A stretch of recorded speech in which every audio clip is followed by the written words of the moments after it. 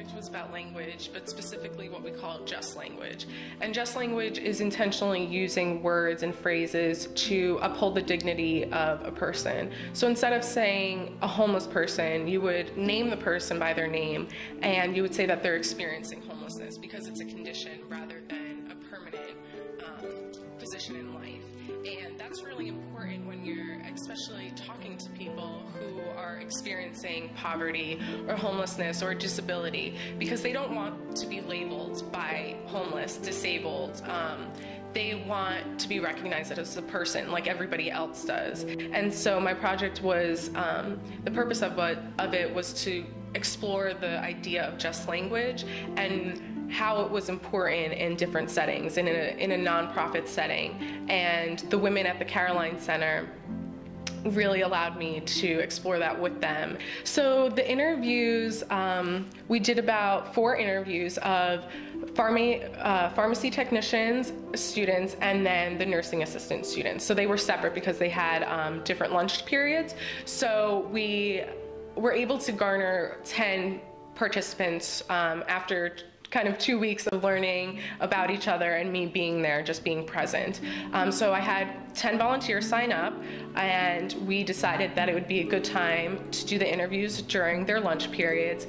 And beforehand, before the interview started, I kind of um, came up with these worksheets, and I used examples of wording and phrases from nonprofits in Baltimore that already exist. So it wasn't like I was making up all these phrases and they were responding to them. It was actually something tangible that was real. I didn't reveal where they were from. I just said that they were from nonprofits in Baltimore. Whether they were familiar with the places, I don't know. Um, but they really got to see real life language that is being used all the time in Baltimore by these nonprofit agencies, and it gave them an opportunity to respond.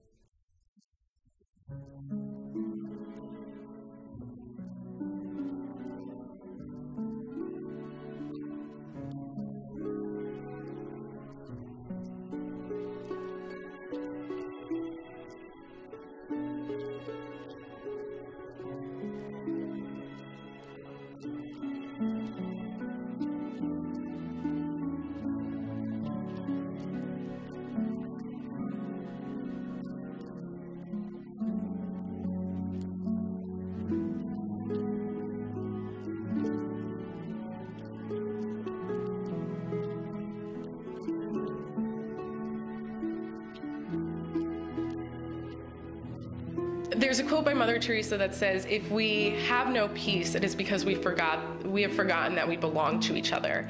And we can really use language in a negative way to separate one another, to say that I'm that that's them, that they're they're over there and we're us and we don't want anything to do with them.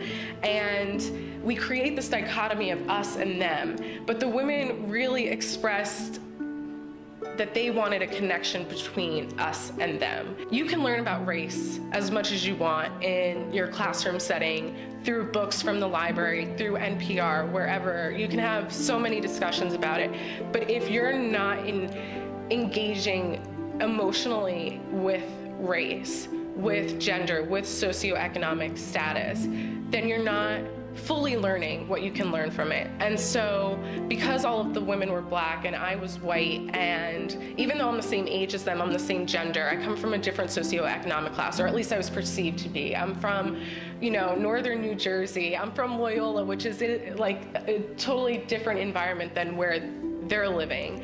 And so, I had to emotionally engage in that, and that was really, really powerful. It was um, it was a lot different than just reading about white privilege in a classroom setting. I could intellectually know what right, white privilege is, but I didn't necessarily emotionally engage with it. And I think that is something that I really did through this project.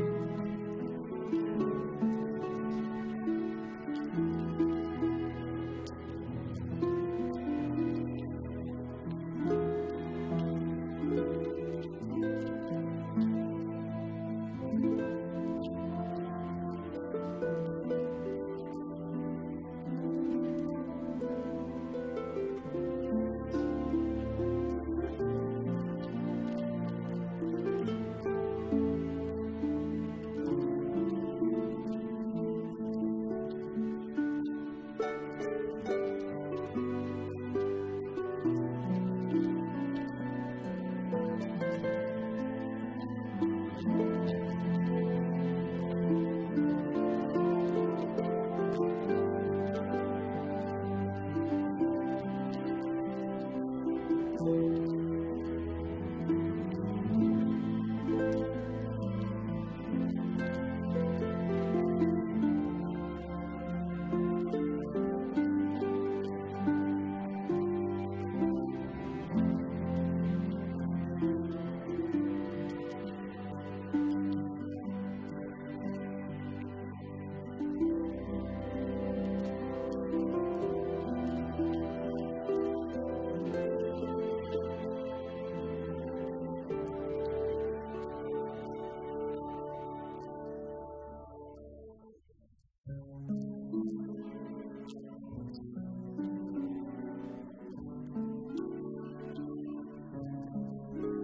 And I think that so many students and faculty have such great ideas that they could explore further that you can't necessarily do in the classroom.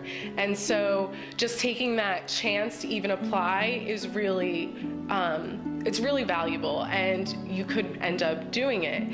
Um, the project was something that I could have never imagined it to be. I, you know, I had hopes and expectations, but what I learned from it was so much more than I ever dreamed I could have learned. And the outcomes, um, whether it was going to be negative or not, whether they were going to tell me that words mattered or not, I knew that at the end of the day that was going to be valuable and it was going to be a really good experience. Um, I was kind of, in a way, my own boss, and I did have um, advisors and mentors, but it was um, it was also a really independent experience, and I had to really rely on myself and trust myself and um, mature and grow and educate myself because I couldn't just go into this blind saying, you know, I know how to do research because I didn't. So even if you don't know how to do research, you can still take that chance and explore something that you're really interested in.